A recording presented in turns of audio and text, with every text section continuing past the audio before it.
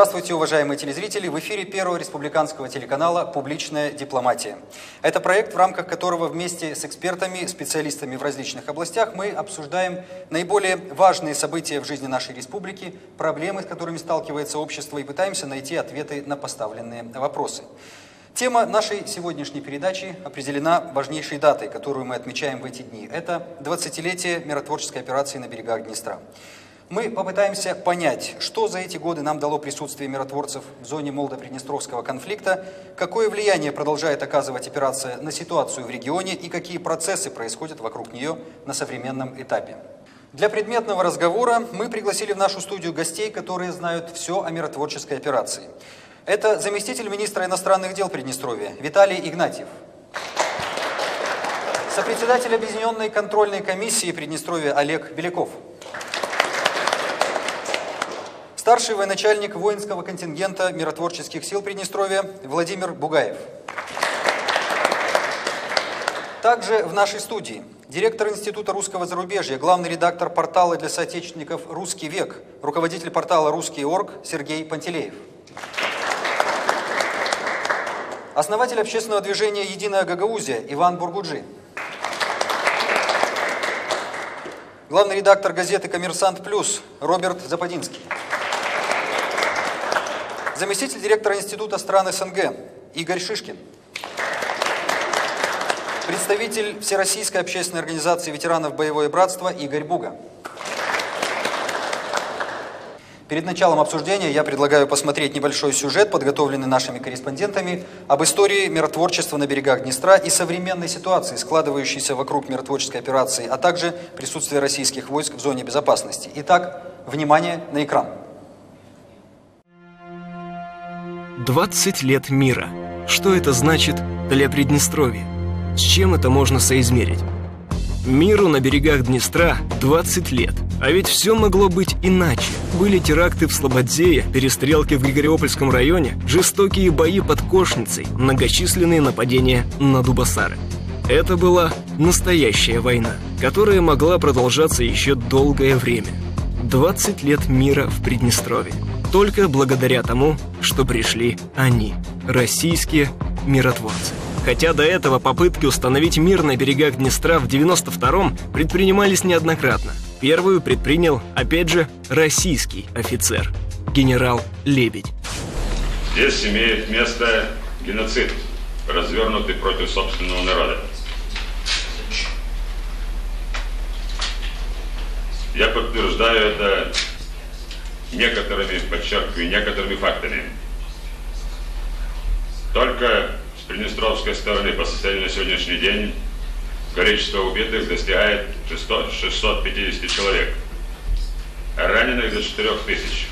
Это не военнослужащие, не военнообязанные, это люди, не состоящие в военизированных формированиях.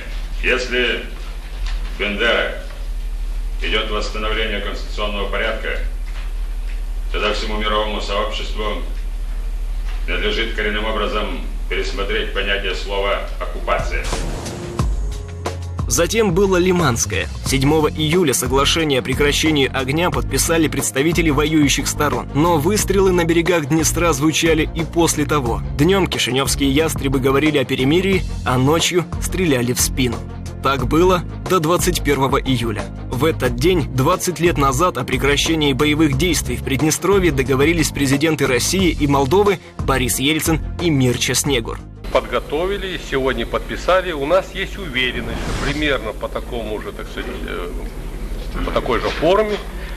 И вот я думаю, что не только попытаться, а уверен, что нам удастся там сделать так, чтобы был мир.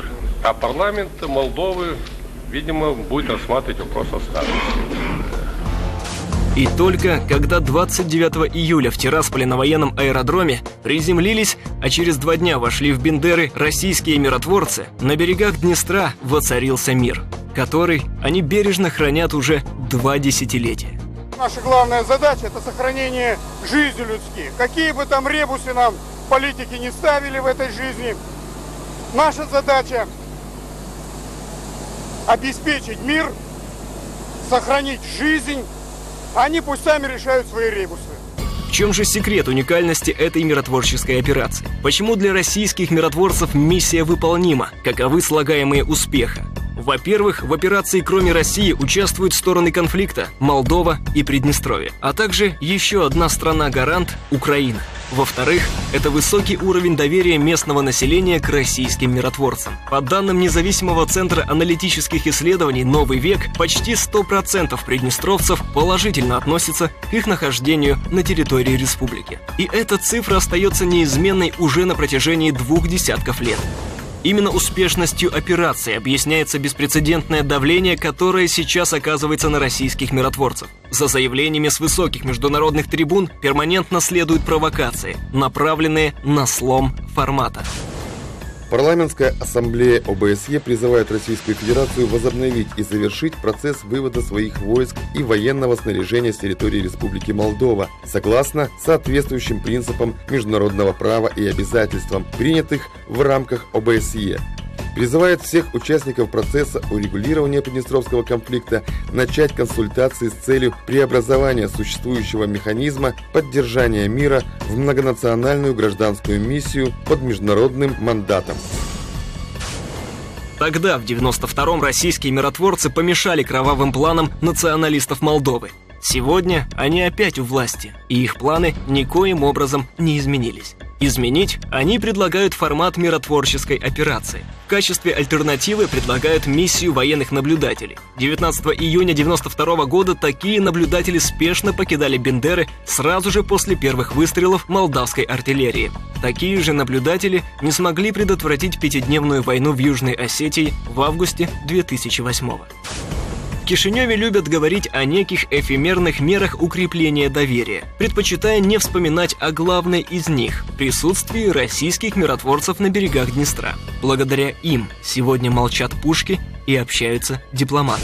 Нахождение российских миротворцев является целесообразным, жизненно необходимым, и мы, э, как при, приднестровская сторона, категорически против изменения формата миротворческой операции и вывода российской группой войск, которая обеспечивает миротворческую операцию с берегов Днестра. В связи с тем, что мы считаем, что основной ценностью для всех, для каждого гражданина в мире является жизнь. Поэтому необходимо обеспечивать всеми доступными и возможными средствами безопасность жизни. 20 лет мира, 20 лет жизни. Борьбу за жизнь российские миротворцы ведут не только на постах. 2 марта, 19 июня, а теперь и 28 июля. Еще один праздник со слезами на глазах. Так встречали миротворцев в 92-м. С таким же трепетом о них говорят и сейчас – В отсутствии четких договоренностей о выработке для Приднестровья особого, надежного, гарантированного статуса, что является целью переговоров, разговор о переформатировании операции не имеет смысла. Огромное значение имеет наработанный миротворцами профессиональный опыт оценки и управления ситуацией в зоне ответственности в контакте с местными органами, взаимодействии с национальными посредниками, наблюдателями от ОБСЕ, общественными организациями, населением. Военный институт имени генерала Лебедя и мост миротворцев России. Слишком много для приднестровцев значит слова «российский миротворец». Практически то же самое, что 20 лет мира. 20 лет без войны. Вот такой получился сюжет, а я хотел бы в начале обсуждения передать слово Игорю Семеновичу Буги, представителю Всероссийской общественной организации ветеранов «Боевое братство», который э, первым присутствовал в зоне безопасности, когда миротворческая операция еще не была начата, но его подразделение уже стало разделяющим между конфликтующими сторонами. Пожалуйста. Ну, во-первых, э, до того, как операция э, началась, надо понимать, наверное, почему она началась и какие были тому предпосылки. Скажем так, в начале июля 92 года, когда дух наступательной операции и наступления, и дух обороняющихся, в общем-то, Э, стал ослабевать, встал, естественно, вопрос о появлении третьей силы, которая способна, по сути, была остановить стрельбу и стать э, неким щитом между двумя противоборствующими сторонами. Э, для того, чтобы понимать ситуацию этого времени, надо знать, что э, к началу июля основные части и соединения 14-й армии, в то время обще, общевойсковой гвардейской, были отмобилизованы до штата военного времени, прошли этапы боевого слаживания и, в принципе, на тот момент были готовы выполнять любую боевую задачу стоящими перед боевыми подразделениями. Поэтому вопрос о разделении противоборствующих сторон был подкреплен еще э, отличной боевой готовностью и оснащенностью армии. Так, для примера, мотострелковый батальон имел в своем строю развернутый более 800 человек. Это о чем-то говорит. В э, середине июля э, было получено распоряжение соответствующее, и первый батальон, в котором я был начальником штаба, был выставлен на 28 постов, по сути, миротворческих уже в городе Бендеры. Находился между противоборствующими сторонами, и выполнял задачи в то время специальные, но которые по сути являются уже являлись миротворцами. И э, мои военнослужащие были заменены на посту уже 29 июля с приходом десантников из России, то есть фактически передали посты уже штатным миротворцам Российской Федерации. Спасибо, Игорь Семенович. В начале передачи хотелось бы напомнить телезрителям о том, что руководит сейчас миротворческой операцией Объединенная контрольная комиссия, в которую входят представители России, Молдовы и Приднестровья, а также наблюдатели Украины и ОБСЕ. Причем две последние стороны э, не лишены при этом слова. В каком формате вообще работает Объединенная контрольная комиссия, как принимаются решения, а также каков механизм реагирования миротворцев на осложнение ситуации, которая может возникнуть в зоне безопасности? Олег Леонидович Беляков, пожалуйста.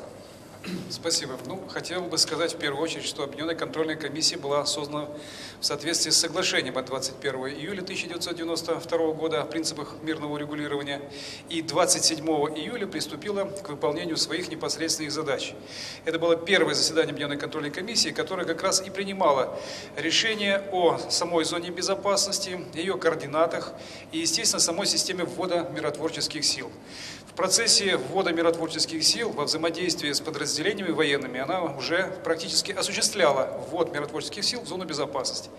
Да, сегодня мы говорим, что Объединенная контрольная комиссия это такой, скажем, формат несколько политического характера, который значит, воссоединяет в себе три страны. В первую очередь страна-гарант Российская Федерация, Молдова и Приднестровье и представители Украины и миссии ОБСЕ.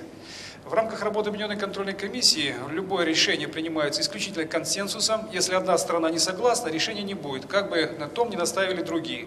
Наверное, это все-таки легло в основу возможности принятия определенных решений. И вот на протяжении уже, скажем, 20 лет э, данная сфера и данная область принятия решений доказала свою высокую эффективность.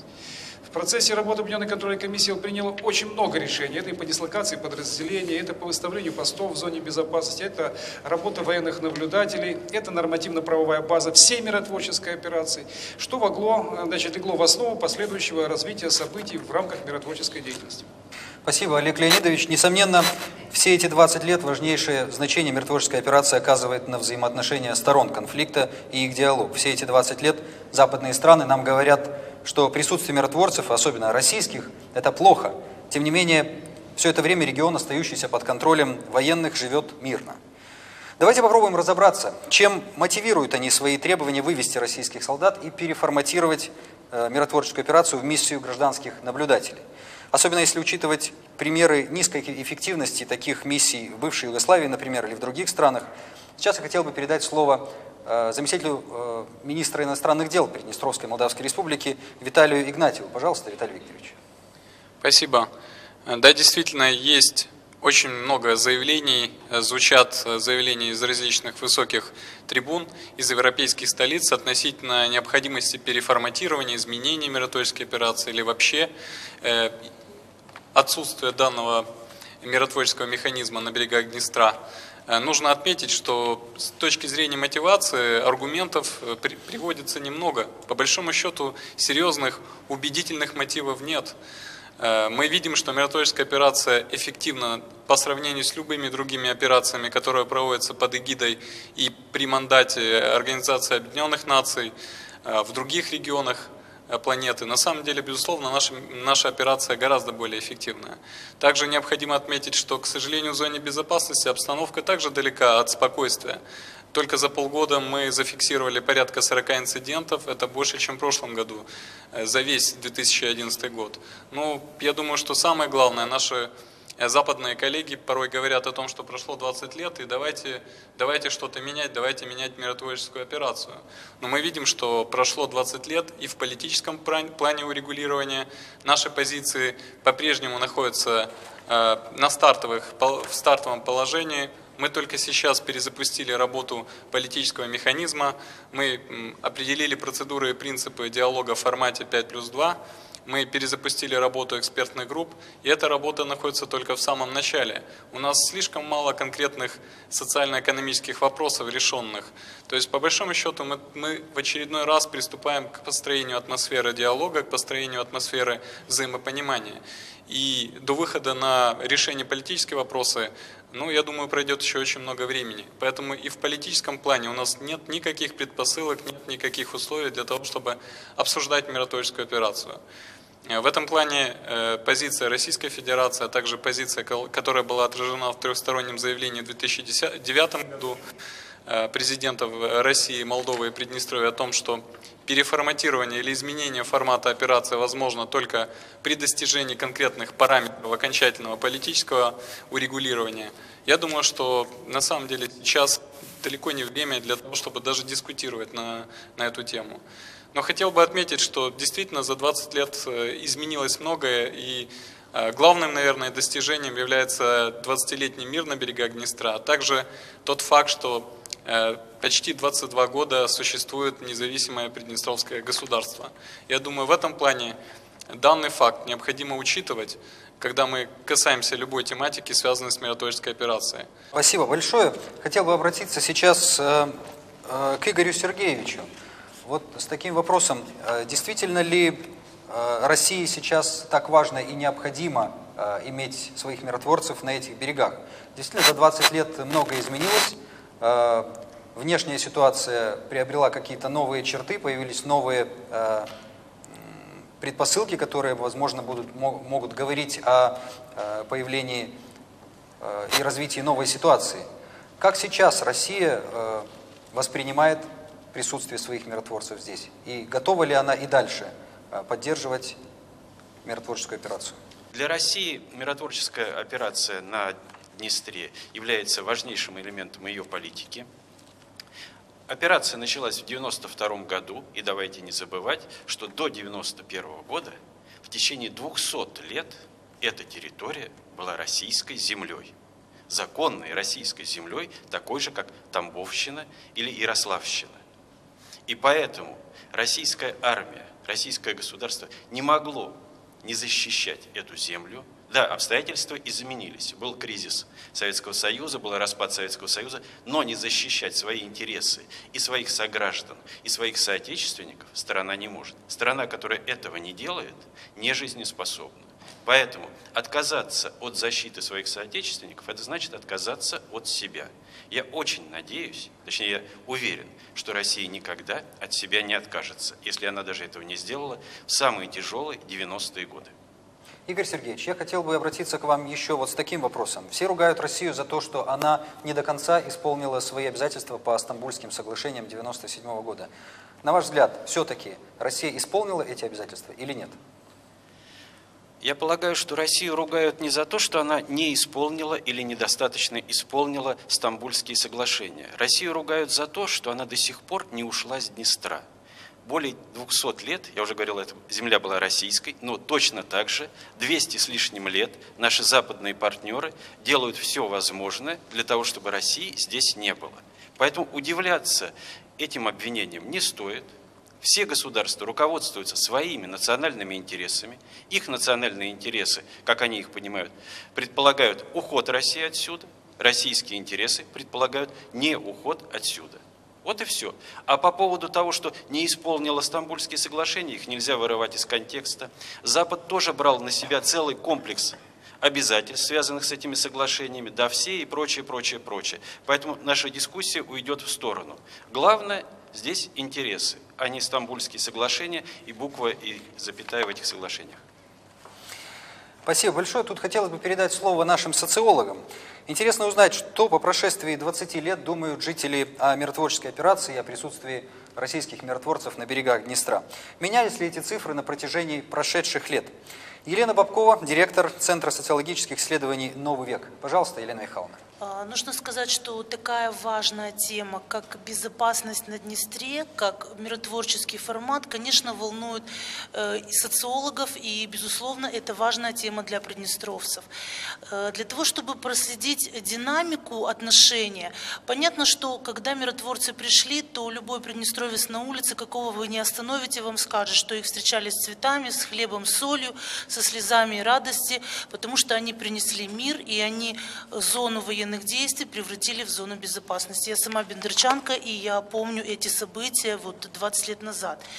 Эм, приведу вам такой яркий пример социологического замера. Это инициативы Воронина. Инициативы, которые, э, в общем-то, затрагивали важные сферы, касающиеся образовательных каких-то шагов навстречу, э, признания документов и так далее, и так далее. Мы все помним эти инициативы. Так вот, нужно сказать, что показали замеры. Что, в общем-то, все эти инициативы были восприняты достаточно положительно Приднестровским обществом. То есть э, люди как-то так отреагировали, что ну почему же, в общем-то, и нет они достаточно разумными были, кроме одной единственной инициативы, касающейся вывода миротворческих войск. То есть здесь было категорическое неприятие вот этих предложений Воронина. Что же касается современной ситуации, то нужно сказать, что это тот случай, когда действительно подавляющее большинство респондентов говорит о том, причем они все практически единодушны в этом мнении, что миротворческий формат здесь должен быть и он должен сохраняться. Могу привести данные опроса, которые мы провели в мае этого года. 80,2 опрошенных сказали, что твердо и уверенно формат миротворческий должен быть сохранен. Еще 12% склонны считать, что да, безусловно, он должен быть. То есть в общей сложности это более 90%. То есть здесь мы видим, что речь идет о том вопросе, который не вызывает разночтений у приднестровцев. И нужно действительно понять, что люди, пережившие военную агрессию, на данный момент всего лишь 57% говорят о том, что агрессия не повторится, что военных действий все-таки не будет. Э, в то же время люди чувствуют себя в безопасности тогда, когда есть присутствие миротворческого контингента. И я думаю, что если я скажу, что приднестровцы благодарны э, миротворческим силам за их деятельность, за их работу кропотливую каждодневную, то я думаю, что я не возьму на себя очень много. Они действительно относятся с благодарностью, и поздравить нужно нужно с Днем Миротворца.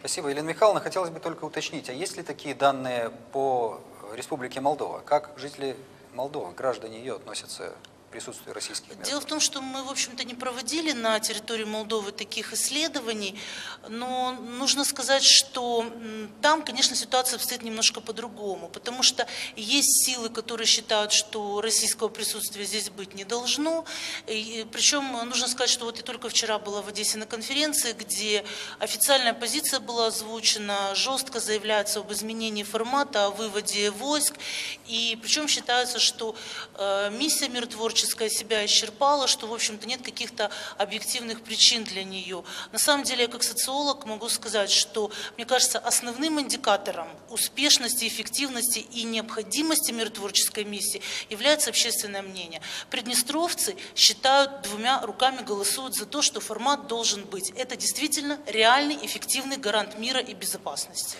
Спасибо, Елена Михайловна. К нам буквально на несколько минут присоединилась заместитель директора Российского института стратегических исследований, руководитель Центра исследований проблем стран ближнего зарубежья, доктор исторических наук Тамара Гузенкова.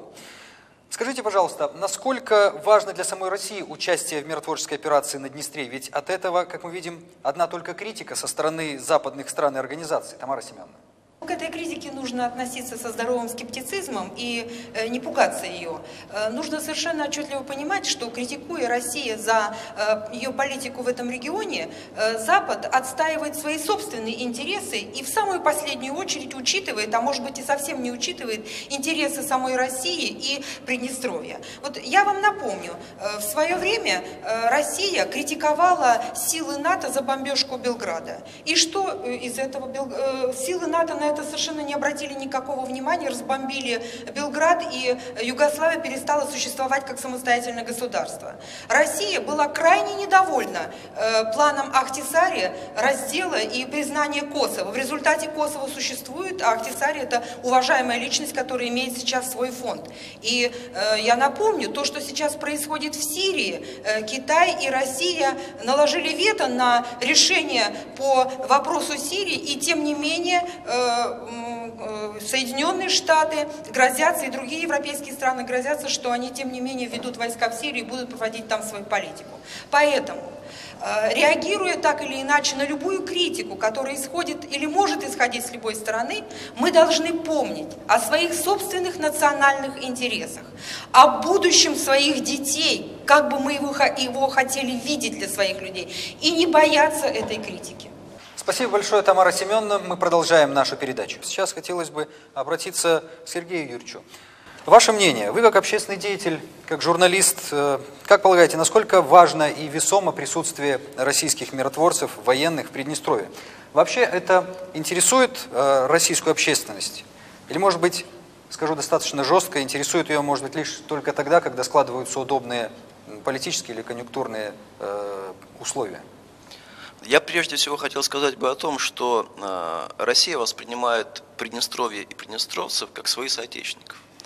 Это самое главное, и э, российская миротворческая миссия, помимо того, что, конечно, выполняет э, большую геополитическую функцию, выполняет э, функцию обеспечения мира, безопасности на этой земле, еще Россия защищает своих соотечественников, которые прошли через череду очень э, серьезных испытаний. И более того, в России очень хорошо понимают, что здесь, в Приднестровье, в начале 90-х годов были защищены те ценности, которые, может быть, даже в самой России в это время, скажем так, может быть, прошли через такой этап некой обесцененности, да, потому что мы, мы помним всю ту такую вакханалию, которая творилась э, с э, русской историей, с русской верой, с русскими принципами, историческими да, ценностями, которые, через которые прошло э, российское общество в 90-е годы. Здесь, на Приднестровской земле, люди отстояли те ценности,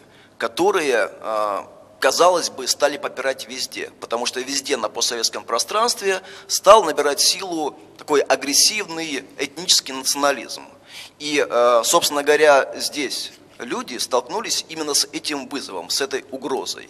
И отдавая свою жизнь, они защищали те ценности, которые сегодня Россия, наконец-то, постепенно укрепляясь, начинает осознавать их значимость и начинает поддерживать. Именно поэтому Россия, конечно, делает все возможное, чтобы поддержать Приднестровье, и российское общество очень ценит тот а, огромный а, выбор, которые сделали приднестровцы. В этом плане, когда мы говорим о том, что Приднестровье – это маленькая Россия, в этих словах есть большой смысл, э, который э, очень хорошо понимают э, и, я уверен, большая часть современного российского общества.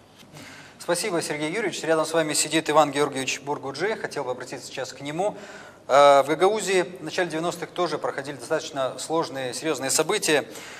А, как в Гагаузе относятся к присутствию российских миротворцев, вообще миротворческой операции? Ведь э, у вас их нет, тем не менее возникающие разногласия с Кишиневым не перерастают а, в какое-то открытое противостояние, тем более вооруженное.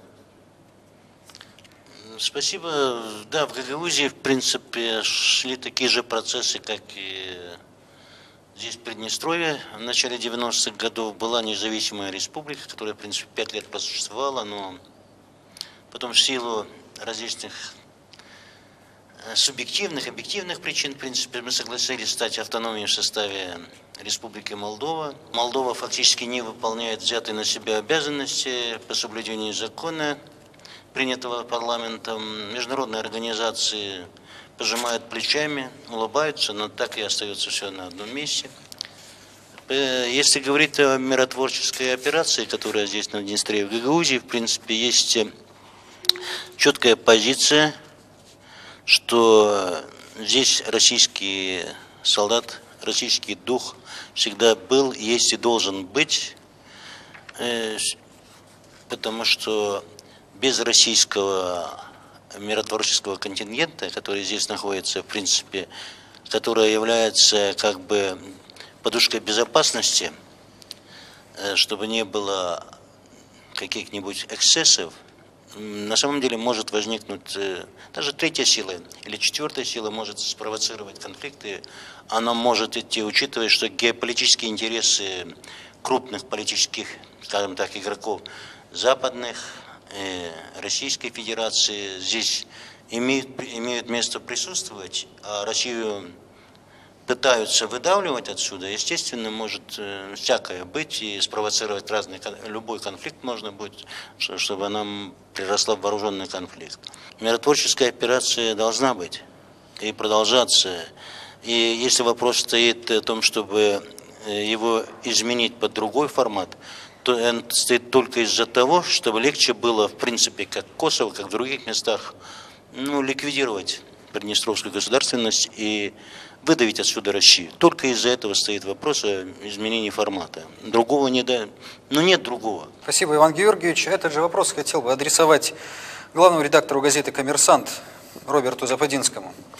Роберт Львович, э, на ваш взгляд, почему отношение Кишинева складывается именно таким образом, что э, миротворческая операция воспринимается как негативный фактор, ухудшающий э, положение дел в Республике Молдова?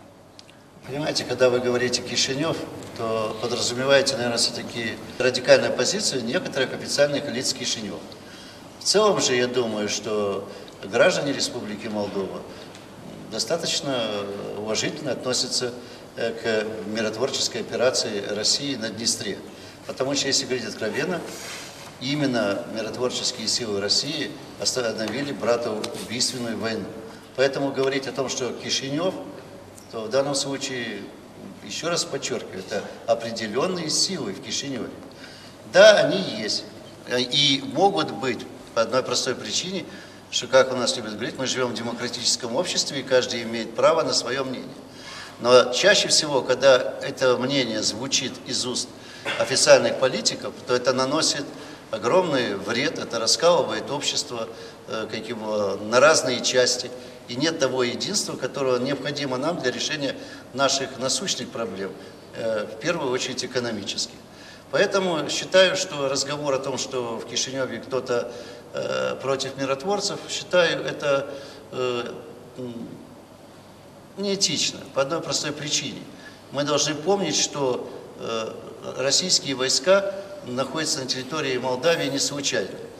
Э, если мы будем рассуждать трезво, сегодня на территории Приднестровья так сложилось, а не потому что Приднестровье этого хотело, находятся огромные склады вооружений. Многие вооружения и боеприпасов находятся давно с просроченными сроками. Кто-то же должен взять на себя как его возможность обеспечить безопасность. Вот Вы согласны э, с тезисом о том, что э, необходимость смены формата миротворческой операции, считаю, которая декларируется что... в Кишиневе некоторыми официальными лицами, как вы говорите, э, действительно необходимо сейчас им для того, чтобы продвигать свои интересы. Значит, вот э, по этому поводу могу сказать следующее. Я считаю, что смена как его, формата миротворческой операции ни в коем случае не должна произойти в ближайшее время. По одной простой причине. Потому что есть такая, как его, хорошая поговорка, что каждая следующая жена хуже предыдущей. Мы не знаем, как его, э, кто придет на смену миротворцам России. Сегодня во время круглого стола были озвучены такие факты, что в конечном итоге в свое время Украине предлагали участвовать в миротворческой операции. На сегодняшний день в этой миротворческой операции, несмотря на открытость, э, участвует 10 представителей Украины. Более того, я считаю, что это очень дорогостоящая операция. И, наверное, Украине стоило бы подумать, потому что там тоже раздаются голоса о смене миротворческого состава. А стоит ли сегодня, когда Украина переживает невучие времена, э, взять на себя вот такую вот ответственность в зоне безопасности? И считаю еще и по другой причине, что смена миротворческого состава не должна произойти. Сегодня неспокойная обстановка в Румынии, Сегодня тревожная обстановка в самой Республике Молдова. Сегодня мы не знаем, э, э, во что могут вылиться предстоящие выборы в Раду на Украине. Мы видим, что в конечном итоге происходит как его, э, весь регион находится, будем говорить, в хорошем возбуждении. И это в конечном итоге говорит о том, что в ближайшее время именно здесь, в этой части Европы, могут произойти те события, которые мы сегодня наблюдаем в Сирии и э, на Ближнем Востоке и в Северной Африке. Потому что как только закончится установка нового порядка в тех регионах, кое-кто захочет установить новые порядки и в Европе. Спасибо большое, Роберт Львович. Э, вот мы сейчас подошли к тому моменту, когда, э, в общем-то, это было известно и раньше, но сейчас это очень хорошо видно, что определенные разногласия и взаимные обвинения э, сторон, естественно, стыкуются в работе Объединенной контрольной комиссии. Именно там, Олег Леонидович подтвердит, возникают именно те проблемы, которые Затем сторонами разбираются ситуации, происходящие в зоне безопасности. Иногда это выливается в протесты, даже бойкоты, э, иногда просто, прямо скажем, взаимные оскорбления. Иногда работа вообще заходит в тупик, так как превращается, наверное, Олег Леонидович подтвердит, также в инструмент политических манипуляций. Почему это происходит на самом деле? Может, это было связано с отсутствием политического диалога на высшем уровне, так как э, ОКК, получается, оставалась единственной площадкой, где стороны дискутировали между собой. Какова э, ситуация сейчас и будет ли она, на ваш взгляд, налаживаться? Спасибо. Я хочу сказать, что Объединенная контрольная комиссия не может функционировать в отрыве от общей политической ситуации как в Молдове, так и в Приднестровье. Это очень понятно, что если сегодня официальные лица Молдовы заявляют о смене формата миротворческой операции, это в свою очередь накладывает определенный отпечаток на деятельность делегации Объединенной контрольной комиссии от Республики Молдова. То есть э, мы реально видим, что предпринимаются определенные меры в рамках самой миротворческой операции на слом механизмов миротворческой операции. Это очень опасные тенденции, которые действительно могут привести к каким-то определенным моментам. Ну, приведу такой пример. После известных событий 1 э, января этого года, значит, молдавская страна в одностороннем порядке приняла решение о том, что ее военнослужащие на пост выходят без оружия. То есть, если мы говорим о том, что старшим на посту является военнослужащий Российской Федерации и приказы командира выполняются беспрекословно, то мы видим явный бойкот. Мы имеем и другую тенденцию, когда значит, есть митинговые страсти, привезенных с Кишинева, скажем, волонтеров в количестве 250-300 человек. Они идут на пост, разрушают инфраструктуру поста, уничтожают шлагбаумы, срывают знаки, угрожают миротворцам, э, специально провоцируя их на какие-то противоправные действия.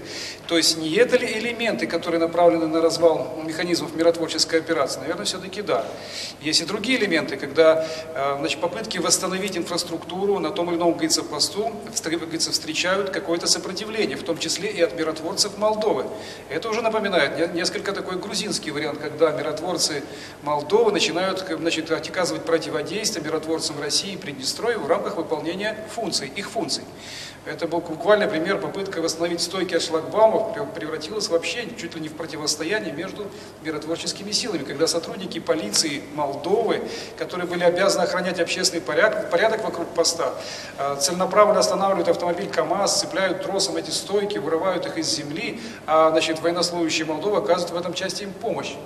То есть вот это все становится предметом каких-то определенных, скажите, очень тяжелых дискуссий в рамках Объединенной контрольной комиссии. Но вот я приведу такой пример, что у нас э, с января этого года не подписан один доклад Объединенного военного командования. Что такое доклад Объединенного военного командования? Как мы с вами знаем, каждый день в зону безопасности выезжают группы военных наблюдателей по всей зоне безопасности, начиная от Рыбницы, Водолы-Воды, различные населенные пункты, как на правом, так и на левом берегу. Они собирают информацию о том, есть ли какая-то опасность возникновения боевых действий, нет этой опасности возникновения боевых действий. И вот этот доклад за начало этого года значит, не подписан только одной, молдавской стороной по совершенно надуманным основаниям основанием. И явилась причиной того, что оценка ситуации за текущий период, того периода времени, Объединенной контрольной комиссии так и до сих пор не дана. Хотя есть очень четкие регламентирующие документы в рамках работы а, Объединенной контрольной комиссии, которые говорят, что военным наблюдателям запрещено не подписывать значит, а, акты военных наблюдателей. Объединенному военному командованию запрещено не подписывать а, доклад Объединенного военного командования. Почему? Это должно стать обязательно предметом обсуждения на Объединенной контрольной комиссии. Объединенная контрольная комиссия – это политический орган, она должна в этой части принять решение, которое должно стабилизировать ситуацию в том или ином выражении. Я приводил уже сегодня примеры а, на нашем высоком таком, говорится, уровне конференции, говорил, что одно из заседаний Объединенной контрольной комиссии, которое было начато 25 октября прошлого года, закончилось 16 февраля 2012 года.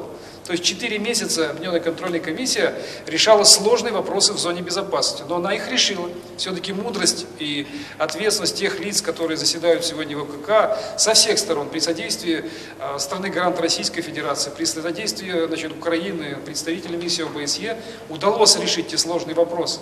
Впоследствии было еще два экстренных заседания. Что такое экстренное заседание? Экстренное заседание собирается только в том случае, когда есть реальные признаки возникновения э, значит, вооруженного противостояния. В этих случаях Объединенная контрольная комиссия также смогла найти очень тяжелые решения. Но они сегодня устроили все стороны, эти решения. Сегодня стороны вернулись в исходное состояние и практически мир восстановлен. Давайте себе представим, значит, буквально значит, на какой-то период времени о том, что э, данный механизм все-таки кому-то удалось значит, свернуть, реформировать. И в зоне безопасности нет этой вооруженной составляющей, которую мы называем сегодня совместные миротворческие силы. Что случится, когда будут э, курировать или курсировать в зоне безопасности не военные люди, которые отвечают за все и готовы взять на себя груз ответственности, а гражданские военные наблюдатели? Я думаю, что на них э, не будет никто обращать внимания, и в зону безопасности в той или иной степени будут втягиваться воинские подразделения. Что к чему это приведет? Ну, наверное, приведет к какому-то определенному очередному противостоянию, в рамках когда с одного берега на другой берег уже будут смотреть не, скажем так, просто а визуально, а уже через прицелы соответствующих орудий, значит, автоматов и, и других систем. То есть зона безопасности как таковая ликвидируется, и стороны, получается, в прямом соприкосновении друг с другом. Сегодня, э, именно так, как вы, вы в этой части определили, я говорю, что вот этот элемент буферной зоны, он очень важен. Он позволяет нам сегодня все-таки давать возможность э, значит, сторонам и вести политический диалог, и возможность э, решать какие-то вопросы в рамках социальных, экономических, экономических и других проектов. И в то же время позволяет все-таки гарантировать тем людям, живущим в этой зоне безопасности, в том числе и в целом Приднестровье Молдовы, общую безопасность, а безопасность, которую мы называем сегодня просто миром. Олег Леонидович, ну вот по работе ОКК, вы ощущаете, что механизм управления миротворческой операцией все-таки нуждается в какой-то модернизации? Иногда ведь ситуация все-таки заходит в тупик? Э, любая тупиковая ситуация в первую очередь решается людьми. И дело в том, что сам механизм миротворческой операции он отлажен настолько, начиная с 1992 года. Каждый документ, каждая, скажем, запись, каждый протокол, он выверен, э, скажем, до миллиметра. Ни одно решение, как я сказал, не принимается до тех пор, пока не согласны с этим решением все стороны. Поэтому, мне кажется, вот этот механизм настолько совершенный, совершенный что сегодня действительно из этого можно делать какой-то определенный опыт, что именно таким образом надо решать вопросы в любых форматах, в любых системах, когда действительно изо дня в день. Я же говорю, что в рамках экстренного заседания мы выезжали на одно и то же место 28 раз. Для того, чтобы все-таки вот этот миллиметр пришел. И он пришел, этот миллиметр. Он пришел, мы приняли в этой части решение. Поэтому отсутствие диалога, оно приведет к катастрофе. Когда диалог есть, всегда можно любую сложную ситуацию предупредить или хотя бы заявить о том, что любое изменение ситуации приведет к каким-то очень серьезным последствиям. Спасибо, Олег Леонидович. Я хотел бы сейчас обратиться к аудитории, а, которая присутствует в нашей студии, а, в частности, к представителям российских миротворцев. Вот а, вы на себе как-то ощущаете вот те проблемы, о которых сейчас рассказал Олег Леонидович? Как вообще складывается служба на постах непосредственно. Кто из вас готов сказать несколько слов? Э, хотел бы представиться, начальник штаба батальона, который непосредственно сейчас находится в зоне безопасности, выполняет э, боевую задачу на постах, Чуп Илья Евгеньевич. Значит, я внимательно наблюдал за выступающими, слушал, о чем они говорят, какие вопросы задаются. Со своей точки зрения я хочу сказать следующее, что в данный момент, э, неся службу на постах, военнослужащие э, ни в какой мере не чувствуют никакой э, давления какого-то определенного извне, из других каких-то, может быть, политических конфессий. Но ну, они выполняют свою боевую задачу так, как это гласит инструкция, разработанная протоколами Объединенной контрольной комиссии, Объединенным военным командованием. Выполняют свою задачу от А до Я и никаких поступление влево-вправо, у них просто нету на это права сделать. Какой ну, диалог у вас э, с местным населением? Как вы контактируете? Как с правого либо, берега, так и с левого? Э, заметил на себе, вот, э, когда передвигаюсь, допустим, в городе Бендеры, до недавнего времени в городах Бендеры был комендантский час, люди к этому довольно-таки привыкли уже. Они, видя офицера российской армии с нашивками МС, с российским флагом, они чувствуют в себе какую-то уверенность, чувствуют спокойствие, то есть присутствие российских миротворцев в зоне безопасности, вот в буферной зоне, она дает жителям уверенность, спокойствие и какие-то уже взгляды иметь на будущее. Еще хотелось бы задать еще один вопрос. Вот все-таки события, которые происходили в январе этого года, как-то заставили все-таки переосмыслить э, происходящее, э, поставить себя на место, может быть, э, людей, которые оказались в той ситуации, как-то подумать о том, как складывается ситуация в зоне безопасности. Я не скрою, вот произошедшее, произошедшее событие 1 января, оно Э, наложила большой отпечаток э, на наших военнослужащих, которые выполняют задачу. Э, не скрою, много военнослужащих, много мнений, каждое свое мнение как бы, ну не впрямую, допустим, говорит, говорит где-то там, может быть, в курилке, где-то между собой, там краем уха услышишь. Конечно же, люди, грубо говоря, напугались, напугались и были в готовности, в готовности ко всему, то есть к любому развитию ситуации. Ну и я как как, как командир их, э, я просто не давал повода сделать так, чтобы это все выходило э, за пределы военного городка, все оставалось у нас, э, варилось только внутри. И я так думаю, все-таки хорошо, что получилось именно так, как оно сейчас есть. Спасибо Объединенной контрольной комиссии. Спасибо. Еще один вопрос. Вот все-таки, когда вы едете служить в Приднестровье, какое отношение к вам и к вашему выбору, например, э, в России? Вообще, как в России относятся, если узнают, например, что кто-то из вас, сослуживцев, коллег, там, едет служить в Приднестровье? Э, я в Приднестровье попал, э, проходил службу в частях Западного военного округа в должности командира роты и попал сюда на вышестоящую должность, начальником штаба батальона стал. Значит, попал я по плановой замене, то есть э, получилось так, что здесь освободилась должность, я сюда приехал, и как бы никакого там э, направления у меня там не было, такого не было, просто освободилась должность, я сюда приехал, э, очень был, было приятно здесь проходить службу и в данный момент, потому что служба маленько специфическая, задачи, выполняемые нашим батальоном, они маленько отличается от тех задач, которыми я занимался в России. Поэтому мне просто с каждым днем все интереснее и интереснее. Я очень много узнаю, знакомлюсь с очень многими людьми. Э, сам как-то воспитываю себя в культурном плане, в плане общения. Э, очень хорошо и приятно поэтому здесь находиться.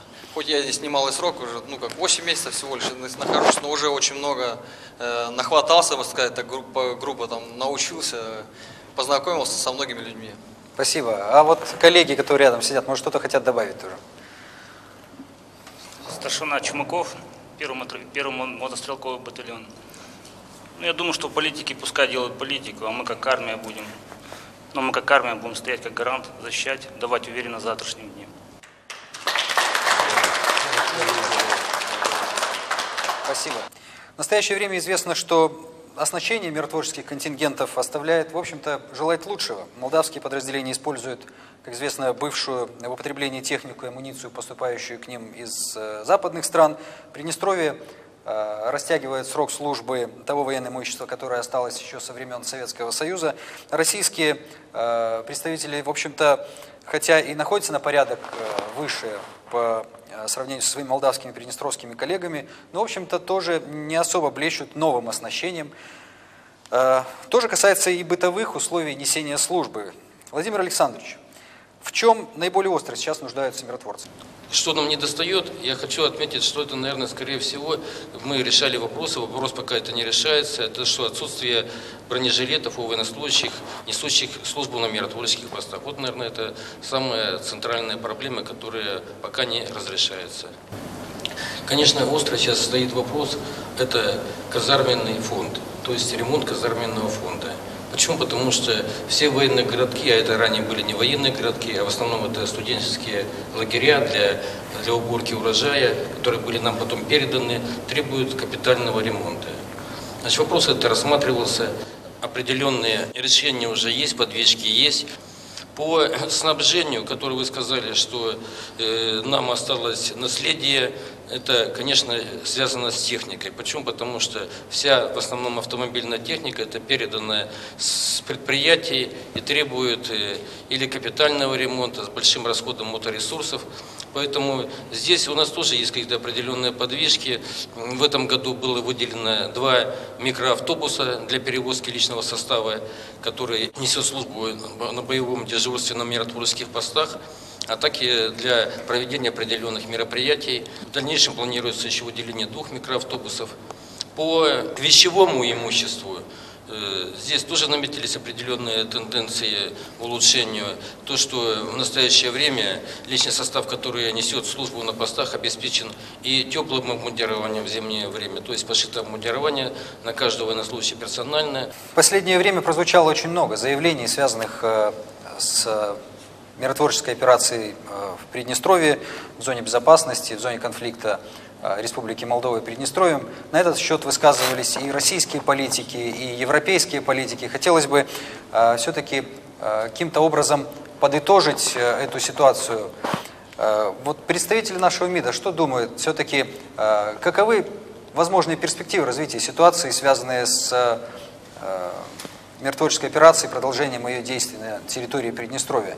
Учитывая высказывания и господина Карасина, и э, господина Ламберта Заньера, пожалуйста. Ну, я думаю, что из э, официальных заявлений российской стороны, из официальных заявлений Министерства иностранных дел Приднестровья э, вытекает ясный однозначный вывод. Миротворческая операция в существующем формате при ведущей роли Российской Федерации будет продолжена. И я думаю, 20-летие мира на берегах Днестра может превратиться, дай бог, превратиться в последующие десятилетия мира, стабильности и безопасности. И здесь, наверное, вывод однозначен, и других серьезных э, оснований сомневаться в этом у нас не существует. Ни политико-дипломатических, ни геополитических, ни любых других. Э, для этого мы приложим все усилия, для того, чтобы миротворческая операция была функциональна, для того, чтобы она сохраняла свой формат, который был заложен 20 лет назад и был настолько прозорливым, был настолько функциональным, что и сегодня он является очень эффективным. Я думаю, что в этом плане наши европейские коллеги, безусловно, могут высказывать свое мнение. Но для нас, прежде всего, определяющими являются факты, является реальность и мнение народа Приднестровья. В завершении передачи как бы ни складывались обстоятельства, нельзя не высказать слова благодарности миротворцам, в особенности российским военным, участвующим в важнейшей благороднейшей миссии – сохранении мира. Ведь именно они единственными откликнулись на призыв остановить кровопролитие в 1992 году. Никто из представителей мирового сообщества и общественных организаций тогда не отреагировал на трагедию, которая разворачивалась на берегах Днестра.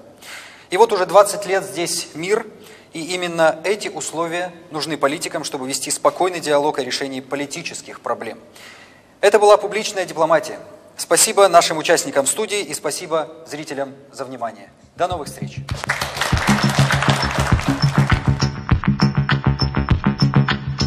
Одно дело читать аналитические документы, читать статьи журналистов, слушать передачи журналистов. И совсем другое дело живое общение. Причем живое общение не на улице, на улице это тоже очень ценно.